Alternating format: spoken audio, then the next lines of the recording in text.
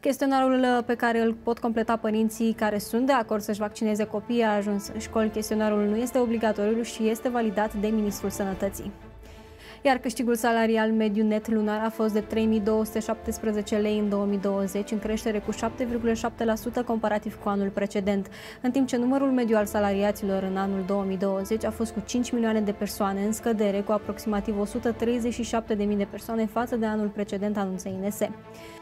Și trecem la garderoba de iarnă. Meteorologii au emis o avertizare de vreme deosebit de rece în toată țara până astăzi la ora 23, iar în zonele montane va fi cod galben de vânt. Și tot astăzi, la ora 18, poți experimenta Jazz on the Boat pe lacul Herăstrău din capitală. Te poți bucura de muzică jazz, dar și de preparate alese.